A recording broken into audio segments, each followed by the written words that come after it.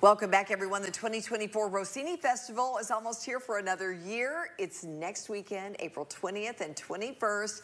Here with us is Katie Spencer with the opera, with the festival. It's so good to see you. So good to see you. I can't believe it's almost here. I know. I'm really excited. We've been planning all year. oh, it takes that, doesn't it? Yes. It's huge. So for the very few people who have not been, mm -hmm. tell us what it's all about.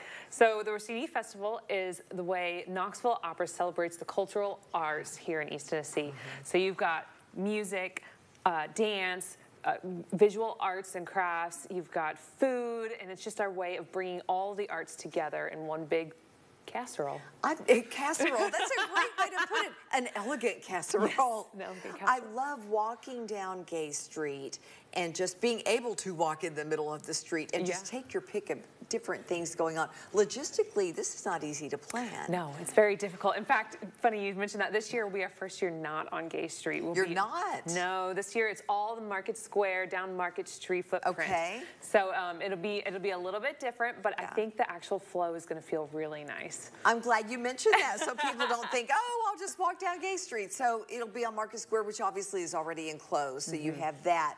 Uh, the food is incredible. I also love how you can walk to different stages mm -hmm. and mm-hmm. hear so much talent. Mm -hmm. And as mm-hmm. an opera singer, I know you appreciate that. Oh, yes, I love it. And we have opera on all four stages throughout yeah. the day.